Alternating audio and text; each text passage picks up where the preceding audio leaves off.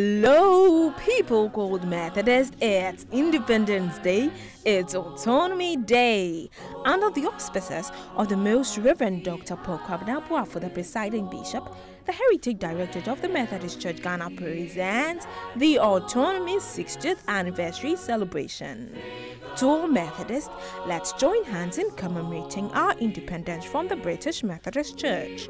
With series of activities aligned for the celebration on the theme Ghana Methodism Autonomy at 60, teaching everyone to live like Jesus Christ. Wednesday, 28th July, will be the Autonomy Flag Raising Day ceremony across Connection and all dioceses. Special autonomy service in all societies will be in the evening. Thursday, 29 July, is the autonomy lecture in all dioceses and a candlelight vigil from Cape Castle to Wesley Cathedral.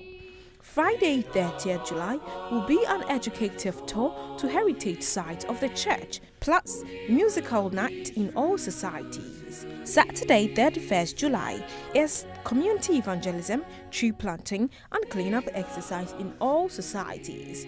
Also, there will be an educative tour to heritage sites outside Cape Coast.